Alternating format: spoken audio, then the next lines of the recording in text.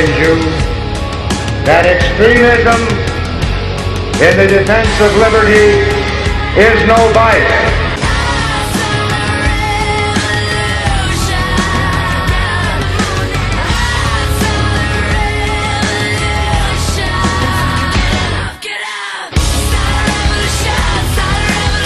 America's Evil Genius, Travis Cook, back with you once again.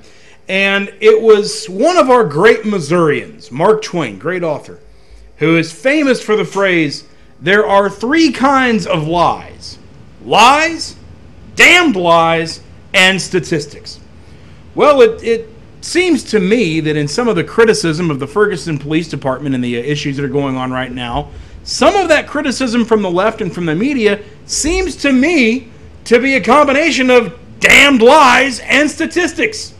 There's no doubt over the last couple of days in, in some of the Ferguson coverage you have seen some members of the news media take Ferguson police to task for a disparity in terms of their traffic stops and arrests and that sort of thing, saying that the uh, population of Ferguson is, is, a certain percentage black, but it's a much higher percentage of traffic stops and arrests that are blacks. And I've seen this reported on MSNBC Tuesday night. I think it was Rachel Maddow's show. Locally here, I've seen that reported on uh, Channel 5, KSDK. I've seen it reported on Channel 2, KTVI. So everybody's kind of grabbing onto this. It's probably been reported some other places as well, but those are the three places I've seen it. And the, the statistics I always quote are these, and these are uh, stats you can get from the Attorney General's website here in the state of Missouri, Chris Koster. He's got a website up with all this stuff. You can go look it up yourself. The population in Ferguson for blacks is about 67.42%. Population for whites is 29.26%. But in terms of the traffic stops, uh, the stops from the police in Ferguson, the blacks have 86.03% of those stops, and the whites have 12.74%. Okay, so they're giving you those numbers, and they're claiming that it's an absolute tragedy. It's an absolute scandal and trying to push it as though it's the worst thing ever. But there's one problem with that logic.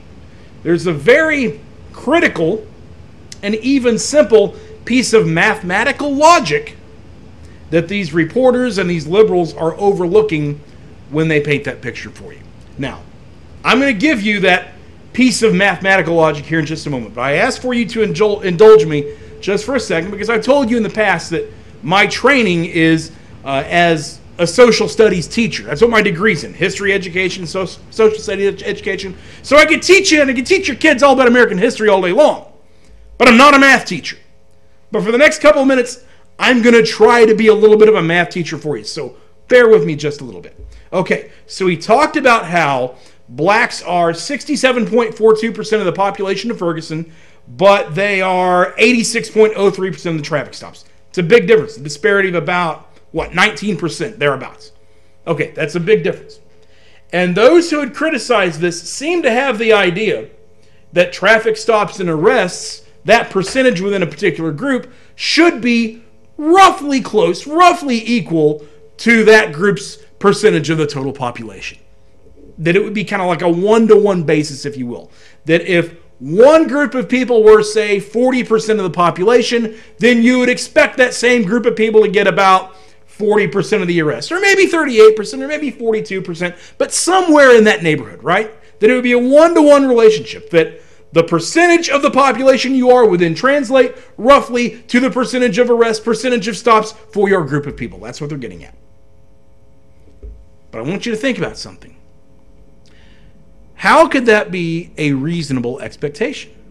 Well, mathematically speaking, there is one way that that expectation could be reasonable.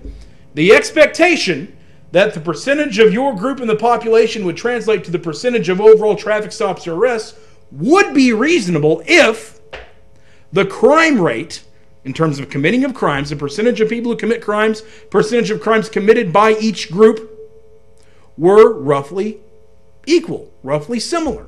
In other words, if there was not a big disparity among who were actually committing the crimes, then yes, traffic stops, arrests should, in theory, be pretty close to your percentage of the population. But what if different groups do not have similar crime rates? What if different groups commit crimes more frequently than others? Could you then expect to have that one to one relationship between your percentage of the population and your percentage of the arrests or your percentage of the traffic stops? Well, no. Because if one group is committing 80% of the crimes and one group is committing 20% of the crimes, then you would think that the group that's committing 80% of the crimes would have an even higher proportion, an even higher percentage of the arrests and traffic stops, etc. Now, what am I getting at here? We've already seen that blacks in Ferguson are stopped, are 86.03% of the stops, they're only 67.42% of the population. Well, consider this. Did you know that 53% of all homicides in America are committed by African Americans? And as of the last census, African Americans only made up 13% of the population. So you've got 13% of the population committing 53% of the homicides. The white folks and nobody else is getting anywhere near that number. So, pretty clearly, there's a tremendous disparity in terms of the actual commission of crimes it, between blacks and other races. Also, back in, I believe it was 2013, New York City Police Commissioner Raymond Kelly stated that 70 to 75% of all crime in New York City is committed by blacks. And he was referring to assault, robbery, shootings, grand larceny, those kind of things. So, again, another piece of evidence that shows that as we stand today, blacks are committing a far higher percentage of crimes. Down in Atlanta back in 2011, a report from the Atlanta Police Department Uniform Crime Reports showed that uh, African Americans were 54% of the population down there in Atlanta, but were responsible for 95% of the rapes, 94% of the robberies, 84% of the aggravated assaults, 93% of the burglaries. And these are just three little statistics that I'm giving you. There's volumes of information, volumes of research on this that you can go look up for yourself. The point of it all is this it's very clear that the crime rate, the rate of actual commission of crimes, is not anywhere close between the races at this given time. Now, I'm not making any comments about what causes that. I'm not certainly not saying that blacks are predisposed to crime or anything like that. That's an entirely different debate for another day. I think that disparity can change in the future. I think it should change in the future. I hope it does change in the future. But as we stand today in 2014, the disparity is very clearly there. That blacks are committing far more violent crimes than whites. That's just fact of life. So, with that being acknowledged, it now is not reasonable to think that the blacks' percentage of traffic stops or arrests in Ferguson, Missouri should be commiserate with their percentage of the overall population. Absolutely not. That cannot happen if you're committing crimes at a far higher percentage than the whites or everybody else. So now when I see the blacks are 86.03% of the traffic stop of the traffic stops, it makes me wonder Maybe that maybe that number's just a smidge low. I mean, would it have to be higher than 80s? I don't know. But it certainly doesn't seem like a problem to me. When you strip away all the emotion and all the protests and everything else, what do we actually expect our police to do? We expect our police, as property owners and taxpayers, we expect our police to go out there and respond to crimes as they happen or if they observe a crime happening or something that appears to be a crime happening, to step in at that point. That's what we expect. Now, if we followed the logic of those who criticize and say, oh no, you've got a far higher percentage of traffic stops for blacks in their population, if we actually followed that, what would the repercussions of that be? What, what would actually happen? You would get to a point where you would be towards the end of a month, you're sitting there in the police station, you get a call in about a robbery or a murder or something like that.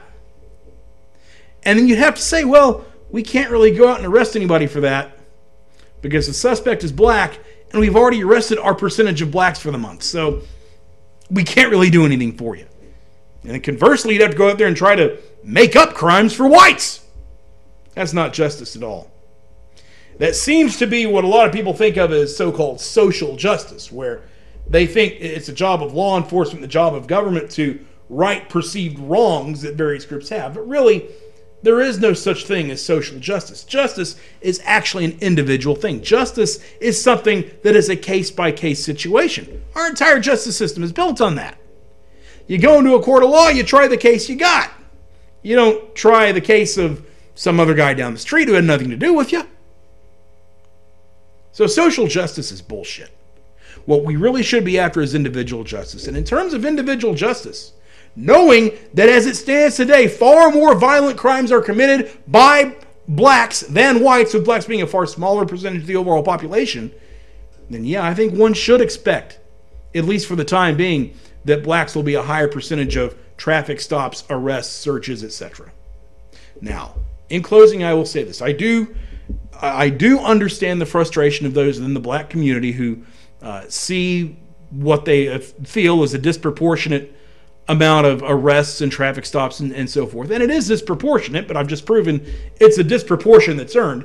But yet I understand your frustration with that. You you you think it's a bad thing. You don't like you don't like police looking at you uh, suspiciously. You don't like your fellow uh, residents, your fellow citizens looking at you with suspicion. I understand that. I get that. You should be on some level. You should be frustrated with that. On some level, yeah, you should be angry with that. I don't begrudge you for that. But what I would say to you is that the frustration you feel, the anger you feel, should not be directed at those of us who are trying to protect ourselves.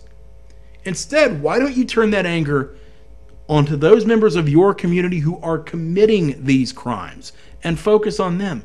Reduce the crime in your own community. And this will not be a necessity. Then, those numbers over time will fall more into line with each other. And we'll all trust each other a little bit more. That's it for this week. This is America's Evil Genius, Travis Cook. We will see you next time.